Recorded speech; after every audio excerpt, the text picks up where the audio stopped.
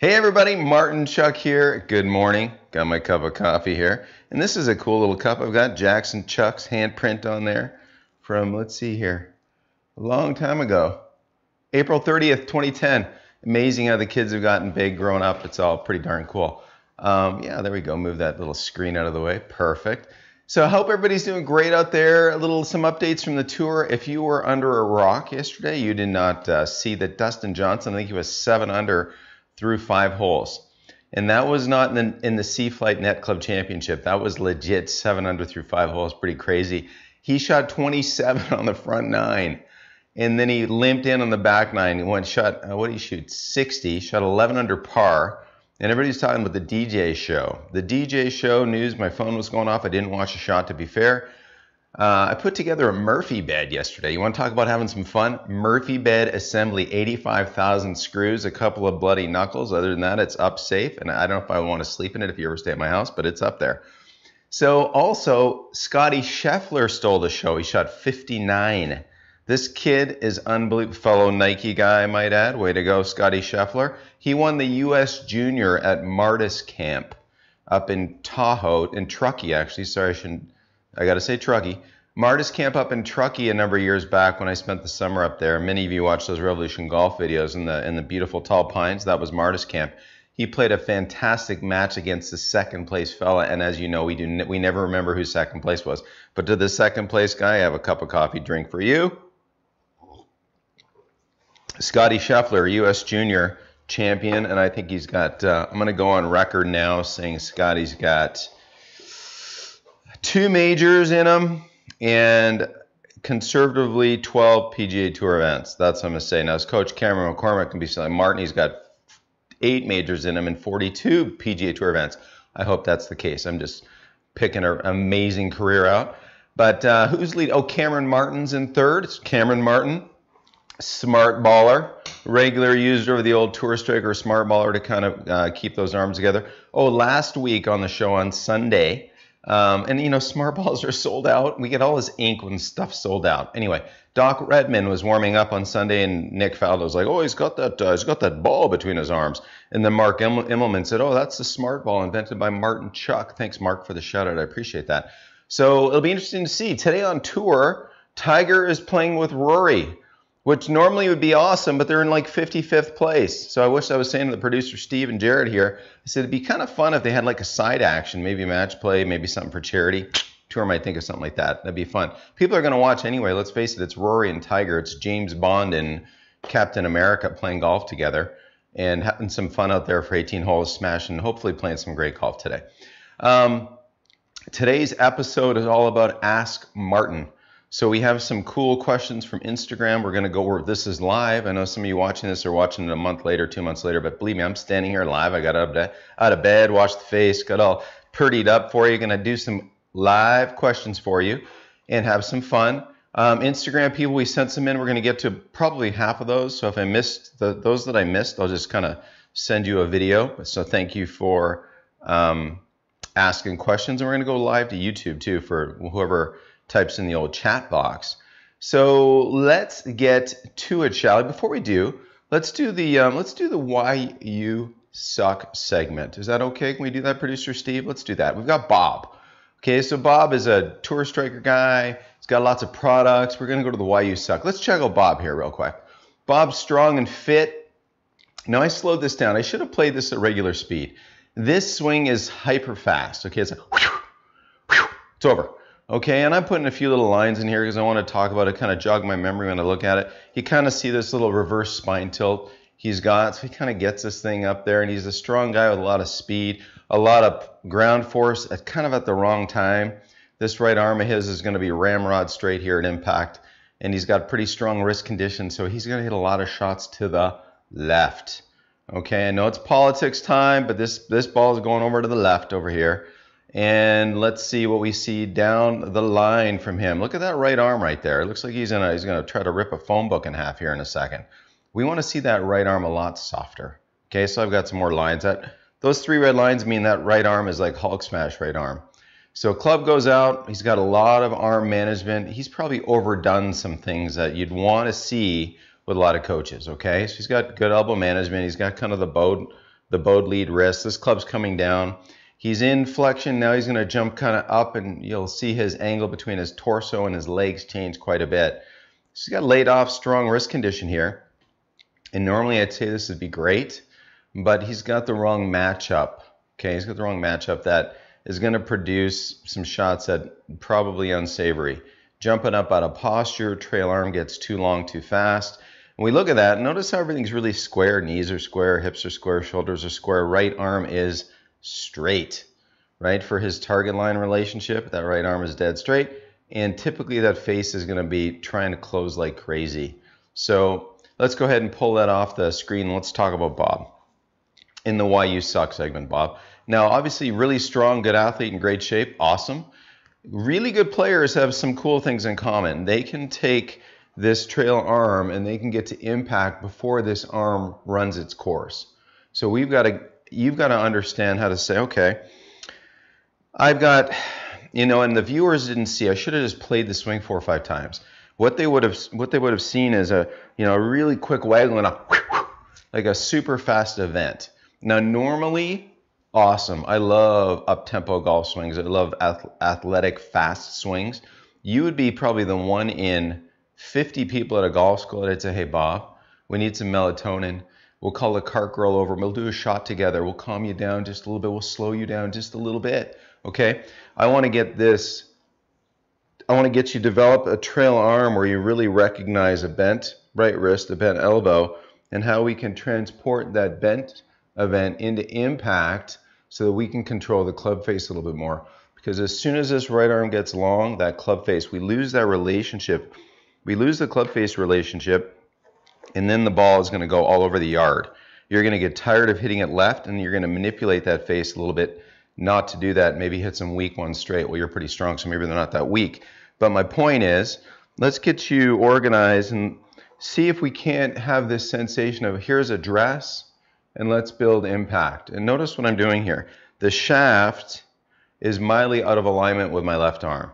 Okay, there's a soft bent back lead wrist as I push my, as I rotate my hips into my lead heel, notice how that little bend kind of comes out of there. So I want you to understand where impact is. And go ahead, there's my long right arm. And then when I go into this impact, notice how my right shoulder gets closer to the ground, my right elbow bends, and my right wrist is bent. So you could do this little dance right here a bunch of times. If you put on Donna Summer, pick an up-tempo song and maybe get into this, and guess who this kind of looks like? That's kind of Matthew Wolff's kind of you know, that's his little trigger move. So him and his coach, George Gankas, I don't know. Maybe they programmed that in. Maybe he always did that. have no idea. But when you see this little event with Matthew Wolff, he's got some programming. He's got this primer. You know, he's got that swing trigger that helps him a lot. Well, you can practice that to understand impact. Impact's where we collect the golf ball with a bent trail elbow, bent trail wrist. So feels for you. Let's see if we can take kind of total motion, 50% energy. Full swings, half energy. Okay? So it looks something like this. You've got a net in the yard there. Awesome. Let's see if you can kind of get yourself in the in in the I call it like some kind of thick liquid. Molasses would be great. So here's my molasses backswing.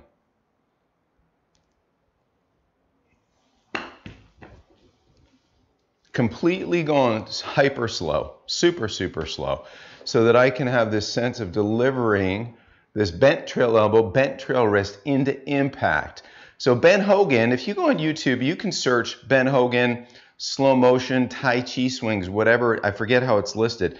But Ben Hogan did these his entire life. He'd take these full swings, super slow, slower than this, I mean, it takes a minute for him to make a swing, a practice swing. I'm not saying you have to do it that slowly, but I absolutely want you understanding the moment of impact. Now, during your backswing, everything was really kind of tight and hype, uh, and you know, soften things up a little bit. And again, you're the one in 20 that I might say to that. You know, tell somebody to do that. But in your case, I want you to soften it up a bit. So again, get your good hands on there. Feel like you're in molasses, like moving the club in molasses would be slow, deliberate, okay? Move this club back really slow. Feel as you work down. I can sense my bent trail arm, my bent trail wrist, my weight getting into my lead side. slowly unwinding. I can see my hands are on top of my golf ball from my visual perspective right now. Here's my bent trail arm, bumping a ball and going to a finish. I'd love to see you do 20 of those. I mean, your neighbors will think you're crazy, right? But that's okay. Take them out golfing in a few weeks and beat their behinds because you'll do great. Because all we're trying to do is have a little bit more awareness, taking out just the flash of a golf swing so our brain can be just a bit more aware of how our body's going to move through the strike. So slow things down a little bit. I rarely say that, I'm saying that to you. Let's be very, very aware of this trail arm and how our body goes into side bend. Here's me side bending. There's right side bend. Here's me side bending with some rotation. Okay, so those are the pieces I'd love to see you focus on. Ultimately, we're going to be getting into impact with a bent trail elbow, bent trail wrist for you right-handed golfer, Bob, before that runs its course and gets long. Because if it's long too soon, guess what? That face is flashy. You're going to hit it all over the yard. And this is, I think this might even come up in one of the Instagram questions later. So, Bob, that's why you suck. No, but uh, anyway, you pay attention to that, slow things down a little bit, soften things up. In fact, you kind of overdo the elbows together at the top. You can have little softer elbows, transport that down. You are going to do a whole lot better. Let's get on to questions. This is all from you guys. Let's answer these questions. Thanks for following me on Instagram if you're watching this, Martin Chuck PGA.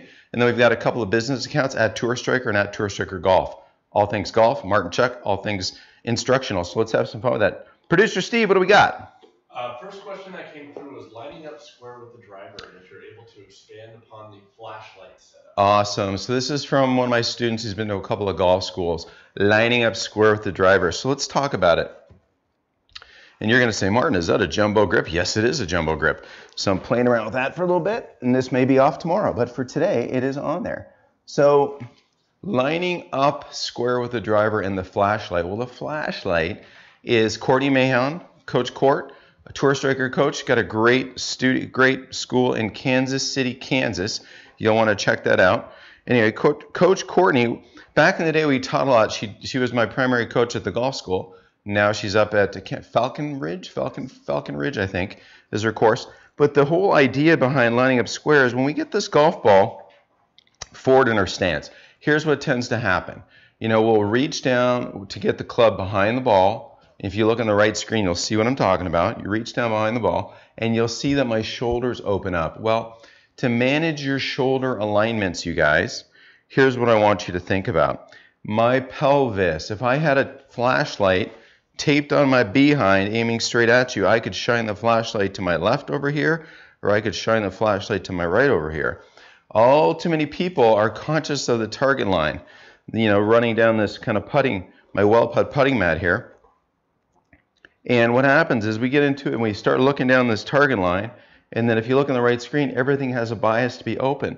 But if I shift my pelvis a little bit, if I aim my flashlight more from the T on Tour Striker over to the R on the end of Tour Striker, what does that do to my shoulders? That gets my shoulders a little bit more organized. So that right there is what I'm talking about and how where I aim my pelvis. So if I rotate my pelvis a little bit, I also help my shoulders. Rather than having hips back and then trying to fight shoulders, that doesn't work. Let's go ahead and rotate that pelvis. The shoulders will square a little bit more naturally then you're going to have a little bit better swing direction. Ultimately, that, that's what we want. Swing direction is just where your hula hoop is pointing.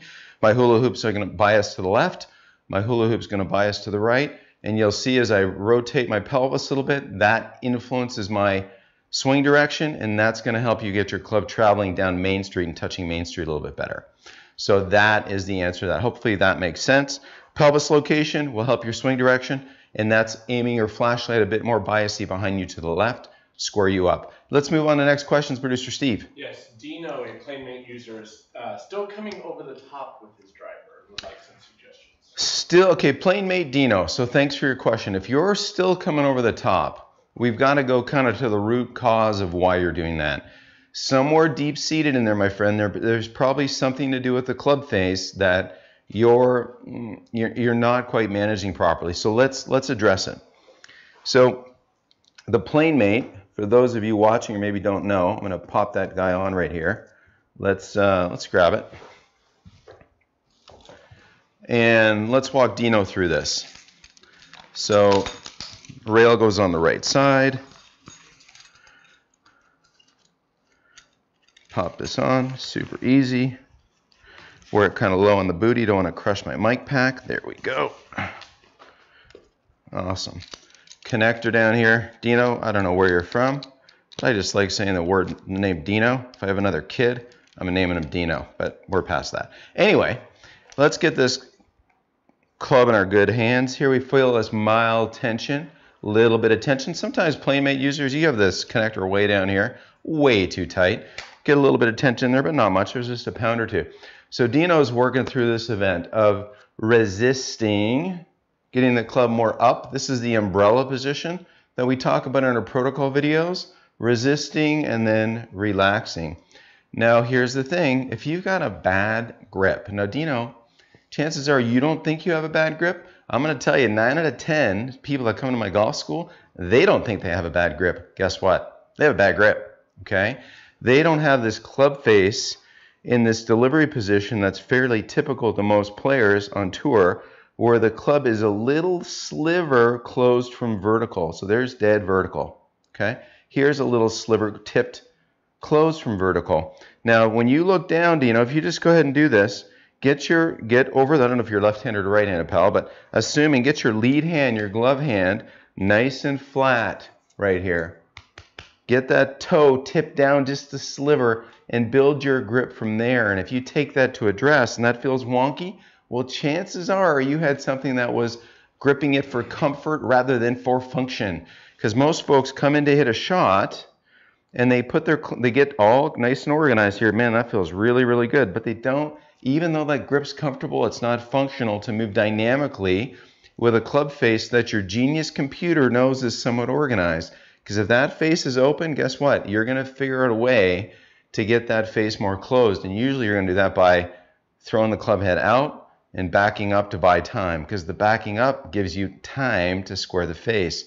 So if we get the club face on there a little bit better, Dino, right? You get your plane mate and you do this exercise where you just get this mildly taut, just the basic element of taut right there.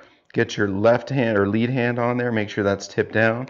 Swivel that back in front of you, and that right there is a nice square tour hand grip. Now when you resist, relax and rotate, that face is in a better spot for you to hit stronger shots that won't want to slice or pull. Because let's face it, when you come over the top, you got a little bit of either pull tendency or maybe if the face is too square for that, you're going to hit fades. If the face is open, it's like, see ya. Anyway, hopefully that helps. Usually it's some kind of a grip thing because it's always the response to a face. We're always responding to what the face is doing in our golf swing. So hopefully that helps you, Dino. All the best. Producer Steve. Go ahead and keep that. Keep it on. on. Keeping the PlaneMate on. Uh, another PlaneMate user, Joshua. His normal misses off the toe. Okay. Using the PlaneMate, he relaxes his hands and rotates, and now he's hitting it off the heel. Cool. Joshua, right? Joshua? So Joshua's missing, he usually misses off the toe. Now with the PlaneMate on, he's missing off the heel. So let's get into a gunfight, Joshua. You ready for this? I'm going to get my pistols out. They're all shined up, ready to go. There. Oh, I forgot to put bullets in them. But if I have my elbows on my side, see, a lot of people like to grip the golf club, and they get the, this is them. Their arms are at their sides. Well, here's what happens. You put the PlaneMate on, and now all of a sudden we get these arms way more in front of us. This relationship of arms way more in front of us is something you're not quite used to. Sorry, but you will be. There's one of two things going on here, and we get this question all the time in customer service. I have my PlaneMate on and I'm shanking it. And I'm like, good. You know what that tells me as a coach? It tells me as a coach that you've developed this comfort level of having your elbows and arms a little too close to your sides rather than getting your arms up in front of you, what I call volleyball arms. So see how close my humerus bones are together? They really like each other, okay? Get these things up and on top of you. Get your humerus bones on your pecs a little bit as though you can bump past a volleyball to somebody in a beach volleyball contest. Okay? So get your good arm, get your good hands on there. Get this arm up in front of you. Organize yourself. Now there's a little bit of tension. Sometimes people put too much tension on the band and then their brain goes, oh, I need to force, force, force, and it shoves the thing out. There's not a whole lot of tension at address, just a pound or so. So arms in front, get yourself organized. You'll feel way more tense across the upper body if you've been used to being cozy like this. So get your arms up in front of you. Enjoy that structural tension that it puts in. And then from there, you'll have center cut roasters with your PlaneMate on. So Joshua, hope that helps. Thanks for being a product purchaser of PlaneMate and enjoying that. And we appreciate you. Next question, producer Steve. From Instagram. Instagrammer. Underscore M would like to know how do you get your weight on the backswing? Okay, cool. So weight to the right. Weight to the right. So what's his name? Bo. Uh, go hike underscore. Go hike underscore M. Go hike. Cool. So how do you get your weight to the trail foot on the backswing? Good question. Usually not a big problem for many, but this is a good one. So sometimes it's interesting. You know, my, my son Jackson is kind of going through this a little bit right now. And it's partly, I want to say, because he likes to hit balls in the studio. And you'll notice my eyes wander up over here because my monitor's up on the left. And he's constantly kind of making a backswing, kind of looking up that way. So I'm like, huh, maybe I got to change where the monitor is to affect what he does in his backswing a little bit. But let's talk about it. Put the old PlaneMate down. So sometimes go hike underscore M. Sometimes eye dominance plays a role here. Okay, I've noticed this a bunch of times. It'd be interesting to know what your dominant eye is, and to do that, it's pretty simple. Make a little circle. You know, kind of look up, and you'll see one one of them. You're going to look right through one of them. So, for example, if I'm using the face on camera, and I'm looking at the face on camera, my dominant eye is my left eye. If I close my left eye, my right eye, my non-dominant eye, that circle moves. Okay, so you'll figure that out and look it up on Google. But the point of that is, if your dominant eye is your trail eye, okay, maybe it is, and you have a big Serbian nose like me, okay, so what that means is when you make a backswing, it, a lot of people hate losing the connection, the direct view from their dominant eye to that golf ball, okay, and I see this all the time. I figured this out, I don't know, 25 years ago on the lesson tee, 20 years ago on the lesson tee. Had this lefty from Canada would make this practice swing look like this. It was gorgeous, okay? Make this practice swing, looked really nice. He'd bend over to the golf ball, and then he did this funky move, and I scratched my head. I was giving him a few lessons. I'm like, wow, okay, I understand practice swings, real swings, okay. But usually it's because the face doesn't make sense, but his grip was nice. And then I'm thinking to myself, what's going on here? And then I started to notice this bizarre behavior with his head. And I thought, what's your dominant what's your dominant eye? And sure enough, his trail eye was dominant. And so what we did was we got some painter's tape. Okay, this may not be you, but I'm telling a story and it's my show. I get to tell stories. So you get some painter's tape, just the stuff you can peel on, doesn't hurt. You put it on some sunglasses so that your if your trail eye is dominant, just cover it up with some blue or green painter's tape, and then teach yourself. You know, when your when your non-dominant eye can see the golf ball, you won't be into this funky subconscious connection to the golf ball. Just something weird I've noticed in coaching for the past 20 something years. I see it at the golf school, at least one student a week. So it's kind of, we always have a roll of painter's tape by, and we always got some cheap sunglasses too. So what I'd consider for you is, what you know, onto the more of that. Maybe, maybe you don't have that issue. Maybe your dominant eye is your lead eye, and that's fantastic. So the event of the rhythm of getting set into a golf ball, okay, assuming you don't have a dominant eye issue and you're trying to not get blocked out by your nose, because right now if I close my left eye and make my backswing, guess what? Big Serbian nose in the way, you can't see the ball. So you're going to figure out a way to see the ball. Cock your head funny, maybe put your weight more on your lead side. But assuming that's not you and you don't have a Serbian nose, let's get you set up over a golf ball and feel pressure left and right in your feet. So I'm squeezing the mat a little bit. If I was Italian, I'd be making wine right now, squeezing the grapes, okay? So this little bit of pressure, I am a quarter Italian. So this little bit of pressure in the backswing, there's a little bit of a I'm left for the last time, I'm on my lead foot for the last time, then I'm pressing into the right to get some energy to sling this golf club into a backswing. So through foot pressure, you have the ability to start rhythm differently. I see too many people go. And then they try to make a swing. Mm, no. Okay. Let's get the club in our good hands. For the last time it's on the ground, it's up off the ground. It's waggling. Big, big deal here. Club's off the ground, it's waggling. Okay? Waggling is this little wrist motion in conjunction with this rhythm in our feet. Go hike underscore M.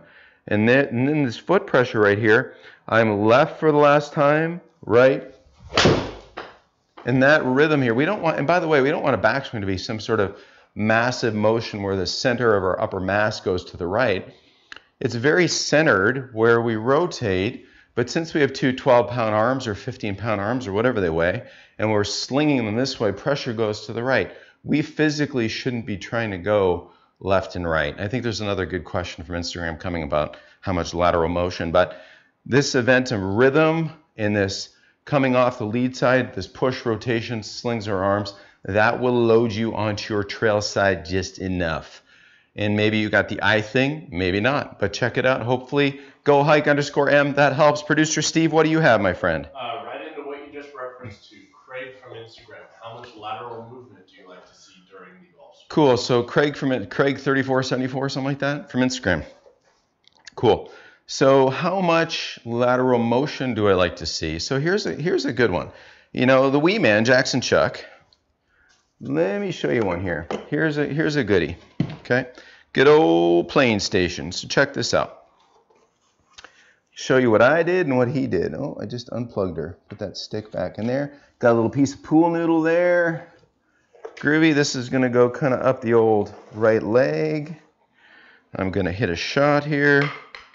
Get that situated. So we have a stick in here. It's the old 84 degree stick because I stole that off my good buddy Andrew Rice because he made a really cool video years ago about all good players and they wind up, they don't really lose this angle. So see when we stand here, our feet are a little wider than our hip bones. Okay, so that creates an angle inward. Well, during a backswing, Craig, you know, during this backswing, this event, you know, this angle pretty much stays there. I don't meander to my right and straighten this pool noodle up, or just basically this little stick included with your plane station, okay? So I just put a pool noodle on it just to make it a little bit more um, illustrative. So as I get organized over the golf ball and get set, I'll hit a shot here. Now watch what happens to that pool noodle. Absolutely nothing, okay? Now the wee man, Jackson Chuck, a little different. And he's 11. He's getting pretty good at golf. He plays the most forward tee and makes some pars and some bogeys. So I'm excited that he likes golf. He's swinging pretty good. But, you know, we noticed a little bit of this. A little bit of spinning out and bumping that thing out of the way. Now, you don't need this funky contraption to do that. It's just something we had handy. You could put a anything down there, a, a, a water bottle, anything off your right heel. Ultimately, Craig, a great exercise, okay?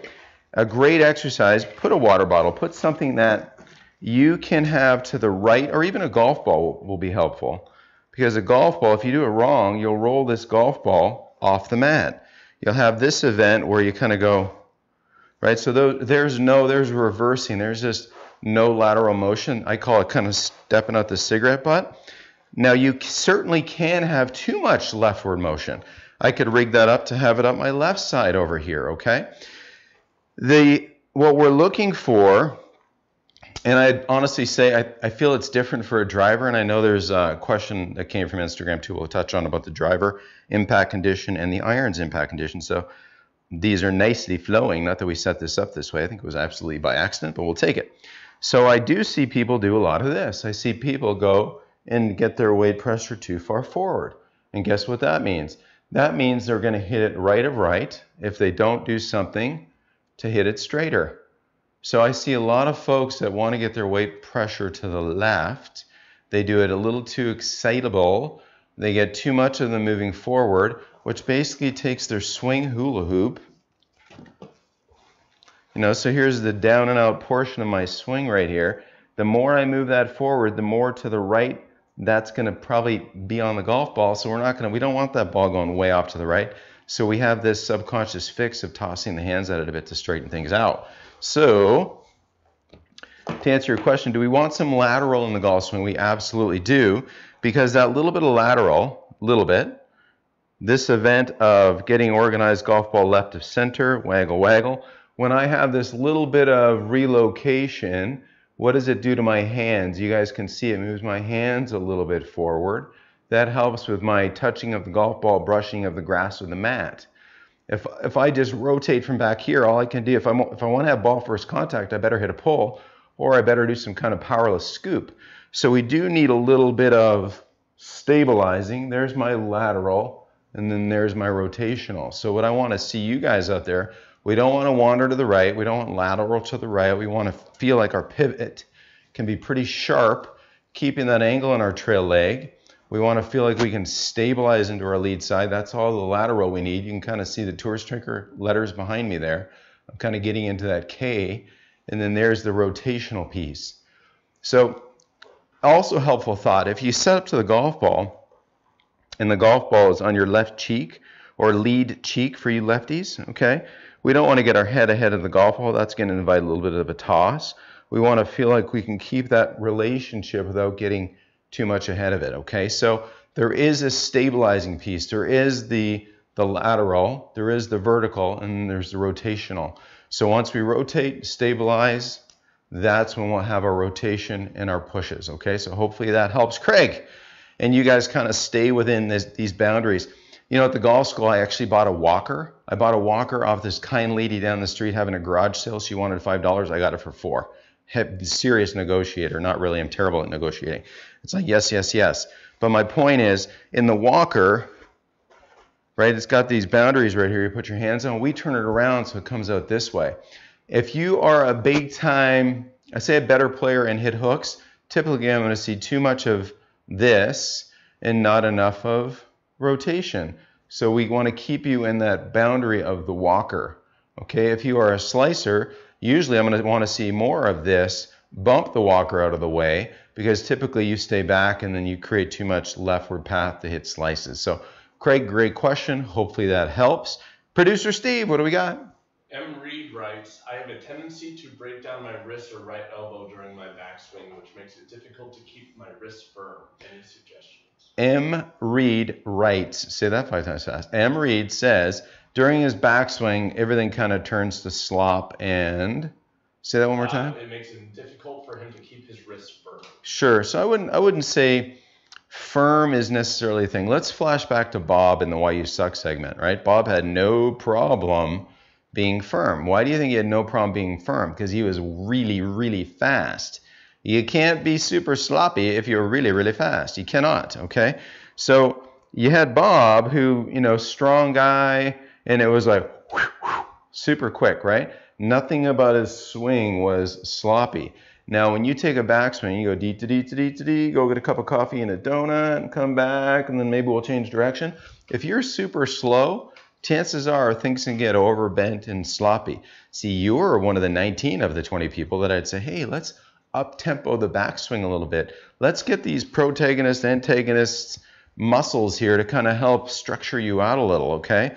So the reflex arc over here, you know, this ball delivery system is a great way to get folks like that's why I use it with like most of my beginners and a lot of really good players too. But most most folks that are get too sloppy on the backswing, Guess what you need? You need little speed injection babies. Yes, you do. We got to get this club off the ground. We got to speed this thing up because if we speed it up, instinctively you kind of get in a bit more control. And I know speed scares a ton of you, but guess what? You want to hit it far? You need speed. Speed is commensurate. Backswing speed proportional to the downswing speed. And so, you know, it's not about going back super slow and then feeling like you're going to smash it. You're not going to. We need this event. And what I would ask you to do, M. Reed writes, or M. Reed, I'm just joking, but Steve had to choose the word writes after M. Reed. But as we put the club forward, start like this and hit a few. Get that club head ahead of the ball. Give me a trail heel off the ground, step, and get this thing slinging so you've got some structural awareness. And try to hit them kind of far. Do a before and after video. I bet you see that this trail arm and wrist condition naturally athleticizes, gets a little stronger, organizes, holds the weight of the club better, and you won't be so flimsy in the wrist conditions. I think that's going to help you. Producer Steve, who do we have? From Instagram, the Andersberg. What's the difference between iron and driver impact position? Okay, cool. The Andersberg question from Instagram difference between driver and irons. Let's set a couple of balls up here and let's talk about it. Impact positions. Well, a lot of it has to do with the setup position. So Let's go ahead and put two golf balls. You can kind of, from the face on, they kind of blot one another out. From down the line, you can see that we have a couple there. So if I grab the driver and the six iron, let's just go through the setup and then the impact, okay? So setup with the driver, the ball is most forward within the stance, okay? So there's my setup for the driver, ball most forward within the stance. That's going to lend itself to a club traveling a little bit more level at the moment of the strike. Of course, if I'm really steep over the top, you can see the club's leaving the screen on the right screen, coming into the window. That's not going to be level, that's going to be hitting down. We don't want that. But with the ball the most forward in the stance, that gives us an opportunity to have somewhat of a level, mildly upward strike. So that's one of the things different at impact. We'll talk about the others in setup. So if I have the six iron, or say in this, what do I have here? Seven iron. I have my awesome Honma TR20Vs. Check these out; they're amazing. This golf ball is a little bit more center left in my stance. So this is played farther back from my shoulder, my lead shoulder. Ball is center left in my stance. My hands are a little bit more ahead of the golf ball even at address fractionally, right? So there's a setup difference. So now if I have pressure my lead side, lead side and unwind a bit, hopefully there's a little bit of forward shaft lean on that that you can see that's a little bit more pronounced than you're going to see in a second with the driver. So setup differences lend themselves to impact differences. Now the driver, is there forward shaft lean? Yeah, a little bit. I don't want the driver presenting to the ball like this or you're going to just hit it really high with no punch and way too much spin. Because even if this is traveling level, all that loft hits down low on the golf ball, close to the equator, spins the ball like crazy, hit a high one with no force on it. So the feels, the impact differences. When you're wider, your center, your body center is farther back. When you unwind, hopefully we get to a condition of impact where there's still this kind of nice looking line that goes up the shaft up to the shoulder. Now, a big critical piece for drivers get your camera on, get your device, put it on slow mo, put it caddy view, which is this face on view right here, not the DTL down the line, which is that camera. And what I want you to recognize with the driver versus the irons, you guys, good drivers, when they get to impact, what do you notice about my left shoulder relative to the ball? My lead shoulder is behind the golf ball. If my lead shoulder is ahead of the golf ball, guess what? Things got to break down or I got to hit it nine miles to the right. So our body, like look at our body like it's a, a, a few ovals. You have the oval of your hips. You have the oval of your shoulders. Well, at address with a driver, my shoulder is not behind the golf ball. It's pretty, you know, it's pretty even with the golf ball. There's the my shoulder and the golf ball, but as I'm rotating this oval, the oval is now behind the ball. As I'm coming into impact, here's my stabilizing, my rotating as I'm hitting the ball, my shoulder is now behind the ball. That oval has gone through its full motion now to where it's a little away, farther away from the ground than my right shoulder from address. You can kind of see that relationship right there. And that's how you can really have level upward strikes. Really can't hit level and upward if your lead shoulder gets ahead of the golf ball. So you got to recognize that in this rotation of this dimension, shoulders, the lead shoulder turns down in the backswing. There's a little pressure, and in this unwinding, that shoulder gets up, back, and behind you, and it will actually be behind the golf ball when you smash it. Same with the pelvis. We don't want to meander too far to the left. We want to feel like our hip can get back and behind us. And I'll tell you, here's an interesting thing. In my studio, I have a great video of Mike Trout, okay, baseball smasher, center fielder for uh, Angels. Thank you. Baseball junkie producer Steve here, okay? So this guy stands probably six foot tall, 240. He's a stocky dude that comes plays golf the Raven regularly. Super nice guy. And watching him do these, hit, watching him hit, I show my students this on video. So here's this big guy. He likes the pitch. This lead leg goes boom, okay? So all this weight just went pow into the ground. Then it's a big rotational event he hits the ball. So for the millisecond of the strike, weight vector off the lead foot is very much angular back toward his center. No, I'm getting a little techie here, but hang in there with me for a second. So he likes the pitch, boom, weight goes, hits really hard on the lead side. He unwinds, smack. Then for a second, his weight is all back here. So and it's not necessarily with a driver, you've got this relationship, wider stance, stabilizing weight pressure rotation. Weight actually goes kind of pop pop, and then to a finish with the most effective drivers. It doesn't just kind of meander to the left and have this lovely finish like a lot of very good iron strikers. So, going back to the iron a little bit. Man, you asked a juicy question here. Cool. So, the iron, you know, the, obviously the golf ball is a little bit more center left in our stance between my two very cool Nike Love and Peace shoes here, babies. Right? So, in this situation, you know, as I hit this, momentum slings the club up, weight pressure is forward. When I hit this, my shaft's this shaft's going to be leaning, you know, a fair amount onto the golf ball before overtaking. It's not going to be quite the, you know, the event of stabilizing, rotating with the weight kind of popping back a bit before you go forward. So do me a favor, get on YouTube, look up Mike Trout, watch a few baseball hitters because you'll see some cool things in how weight goes, bam, stabilizes, gets forward, how rotation happens. This is a long driver pattern too, by the way. They're not getting ahead of what they're hitting, they're staying behind what they're hitting. An iron, we're more on top of what we're hitting. And those are the primary differences. With an iron, obviously, we're trying to touch the ball, brush the grass, bacon strip divot.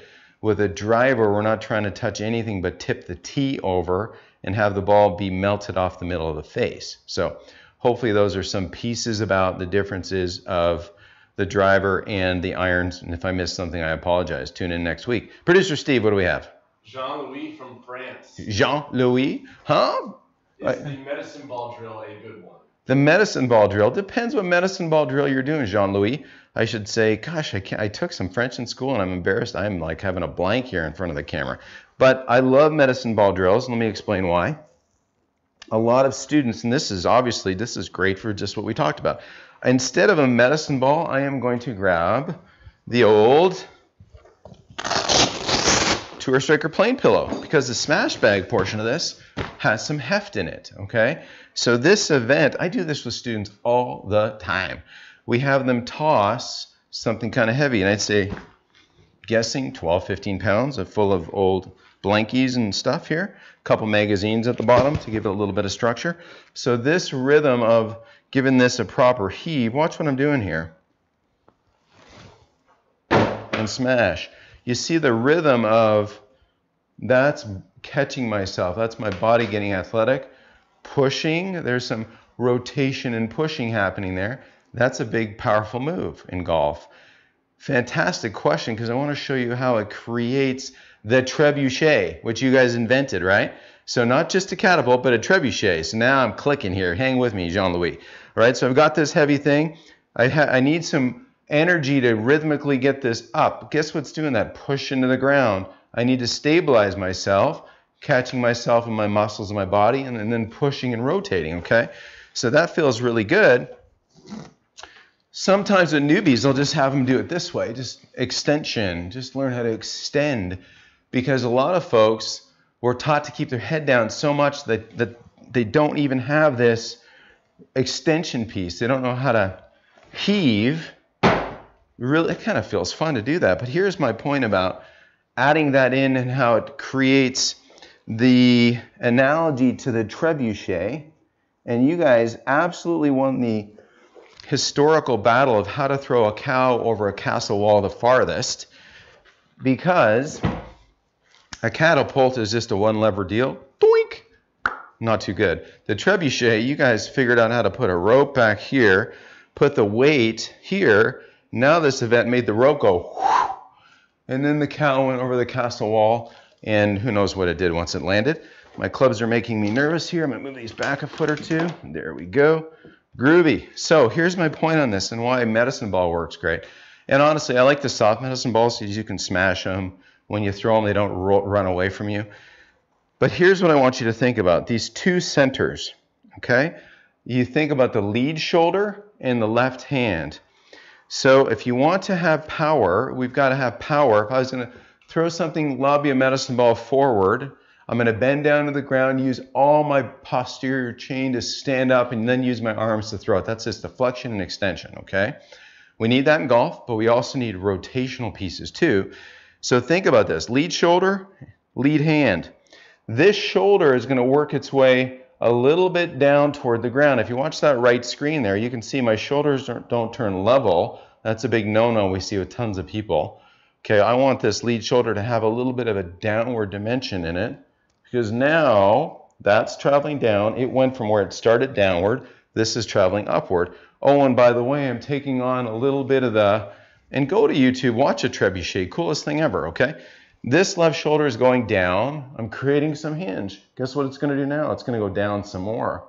And guess what it can do when it goes down some more? It can go up. So I'm using muscles and rotation to make it go up. And oh, and by the way, here's the lever with the rope. There's the cow over the castle wall. So when you do these med ball extensions, okay, and then you add it to the feelings of how a shoulder, and this is why Rory absolutely pounds it. It's the most economical event I've seen. So the lead shoulder is working down.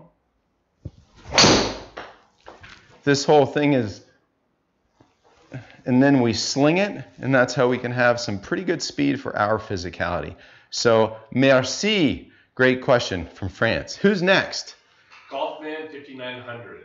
I lose my spine after impact. I finish with a more vertical spine. Is there any significance? Golfman 5900. I lose my my my bends basically. I find myself kind of popping up, right? Welcome to the club. So we had this great guy in for a lesson last week in the scorching hot Phoenix summer, but I, you kind of get used to it. And I always say, you know, I'd rather be shoveling sunshine than snow. Okay. So I use analogies when I coach because I find them, I have stories and analogies to be a little bit more sticky, a little bit more memorable. So I, you know, I say you get out of the shower and you got some water in your in your right ear. Turn your head to the right like this. And get the water to come out. Okay, it's coming out. Maybe give yourself a little tap in the head. Okay. So the feelings I want you to have, and this was an exercise we did with a fella is that we're going to hit some shots and we're going to wait for the water to come out of the ear. And if you do this on the range when you're practicing in a public range, trust me, nobody will practice beside you. You'll have tons of space, okay? So you're going to hit this little shot and you're going to just kind of do this a couple times. You will be left alone, okay? Nobody will bother you. So get set up. And this is more about kind of the balance center balance centers in your eyes and how you're going to start to see things a little differently. Now, the reason you probably jump up and have this flat post impact relationship might be because you're trying to do something to the face. Maybe the face is open and you're trying to square it, and that's why you kind of push and get the right shoulder a little high. So earlier in this video, I talked about the gentleman who came over the top, and I talked about where the face is and how to do the grip in this position of what we call P6 delivery right here, nice and flat. People do this this drill, and they'll and they'll still kind of do this and they'll still kind of do this, but just nice and flat. Okay, because momentum should have that pretty flat, if not a little bowed right there, but not excessively. And then let's make sure your lead hand's on there nicely, okay? Just tour neutral lead hand. And then from there, as you hit some shots, watch me let the water drip out of my right ear as I hit this shot. Shake that water out. Now notice my eye line. Eye line's very tilted. I'm still in my right side bend my buns are still back. So what I want you to do as a drill, just get an 8 iron, give me an 80 yard shot, give me a 100 yard shot, give me a 120, 140, and then max it out, okay? So start at 80 and just do 20 yard increments, but see if we, as we hit the shot, we can kind of keep our eye line tilted, which is weird for most, water dripping out, keep that there. And you know, when the ball is long gone and when you want to relax, take a little pressure off right side bending, because for a lot, those obliques, that back, maybe it's not in a healthy situation. Knock wood, I've been pretty healthy back and, and obliques haven't bothered me. So that, that motion, that drill doesn't bother me. A lot of people that side bending creates a little bit of too much pinch in the lower back. So anyway, I think that will help you. And again, it, there's always a root to it. And the root was probably the face and how you had to respond to that face to try to hit square shots. So look at the grip first. Maybe second, make sure the wrist conditions don't do something funky, overrolling. I see a lot. I see so much of that golf school that you know so much overrolling, the face gets open. Then you need to kind of unwind all that, and that's why you might get up to. So let's make sure the face doesn't get overrolled in the backswing. Nothing crazy. Not a lot of lead forearm roll. Very kind of peaceful forearms. You know, give me some water out of the right ear and you'll stay in your side bend better. So great question. Producer Steve, what do we have? Yeah, last one for today. Douglas Belton watched the webinar of Peter Croker and really liked the push the hand, uh, right hand bent drill and yes. the V drill. If you'd be able to. Demonstrate. Sure, Douglas Belton, the push the right hand, right right arm bent, and then the A to B drill. So Peter Croker, mentor coach of mine, love the guy, Aussie, great guy. We're gonna do these webinars once in a while. He, he's a I've learned a lot from him over the years, and he's he's a big part of how I use my goofy expressions. There's a mild thread of Peter Croker in there, and a, and a lot of what I do. So the push the right arm bent drill and the A to B drill. Okay, so I'm going to paraphrase. Sorry, Peter, if I butcher this a little bit. But he has a golfing machine background. So here's my book, The Golfing Machine. And there's cute little pink stickies on there that my daughter adorned on there from years ago. But that's always, that was on the nightstand for 20 years. Now it just sits here in my office. Okay. So the Homer Kelley made a comment about right arm extensor action. So rather than the right arm retracting, which so many do, because that's an easier thing to do, is to pull, pushing is harder. This is an extensor action. I'll get into this a little bit. It'll be our last question, and we'll finish up. And lots of thanks to the sponsors and stuff. But imagine if I made this PlaneMate band my left arm. So here is my new left arm, and here is my right arm and I've got my, here I am at address, left arm and right arm. Now, there's just a little bit of tension there. Perfect. There's my left arm. If I go back and I overbend my right arm, what just happened to my left arm? Super soft. If I have a structured extensor action of my right arm, my left arm stays long. So when people say, hey, Martin, I always bend my left arm, I say, well, it's your right arm's fault. So here's the push the right arm bent exercise.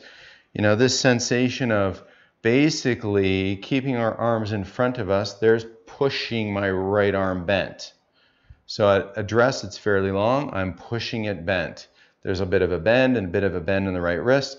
Some great coaches nowadays, this is how a lot of their students hit a lot of shots. Okay, Peter was doing this many, many, many years ago. So there's my arm in front of me. It's pushed bent. I can turn and then I can go A to B. Okay. A to B simply means that golf is a two target game. The ball's got a target and our club head has a target. Two targets ball, target, club, ball. Simple enough. So going A to B, Douglas, is a lot of people. So here's my, be pretty easy now for that club to work not to the ball in its initial motion. This is working toward the target line. A lot of people love to do this. Okay, this is an A to B. A to B. And that's an, a, that hit motion. Okay, Peter says enjoy the hit. That's a motion that basically, if the club head wasn't epoxied on here, it might fly off and go in the corner of my room over there. It's got an inside out event to it, just because, just like a hula, like just like an incline hula hoop would. The A to B goes to the ball. The continuation would be that way. Now, since we're a center and this is epoxied on here, it doesn't do that. It continues up on its journey back up and in because that's just the law of a circle. But the sensation A to B, golf is a two target game. The ball's target, the ball, I'm sorry, the, the target for the ball is the flag or the fairway. And then the target for the club head is the ball. So here's my A to B. And so that's just a nice simple way of clarifying the push the right arm bent, okay, not retracting. And then A to B isn't something where we uncock over or do anything this way that would result in us kind of having to steer the bus late to get the club on it. Just a simple way for us to feel like we're uncocking the golf club, not pulling the handle, destroying our radius, uncocking the golf club A to B right on the back of the ball. So hopefully that added a bit of clarity.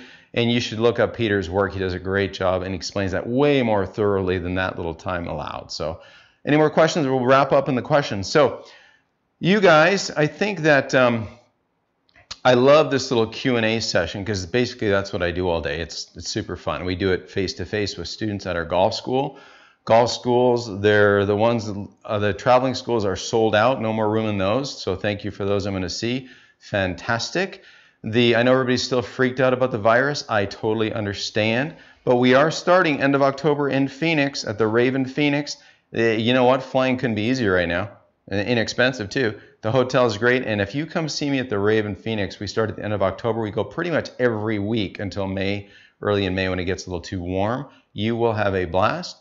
You will get much better and you will love the continuity program that follows the golf school. Once you leave us, you don't really leave us. You can't get rid of me because I'm going to make sure I'm going to follow up with you to make sure that you understand things. We have a relationship back and forth coach students so that you have clarity on your goals and what your tasks are. So hopefully you enjoyed this session. Big thanks to my sponsors, Honma Golf.